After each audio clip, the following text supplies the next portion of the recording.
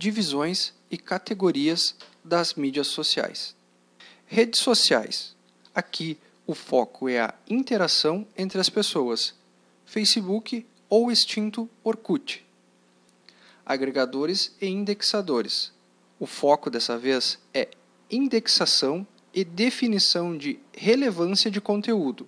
YouTube, Tumblr ou Flickr. Mundos virtuais é a representação gráfica das interações sociais, como exemplo, Second Life ou Green Farm, além dos aplicativos de jogos para o Facebook, por exemplo.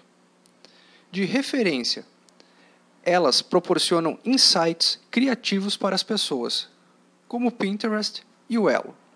Geolocalizadores. Esses serviços são baseados em localização de serviços e pessoas. Como exemplo, temos Swarm e o Foursquare. Agora que você já sabe algumas categorias das mídias sociais, procure ferramentas que mais tenha a ver com a sua empresa e invista na rede social ou mídia mais correta.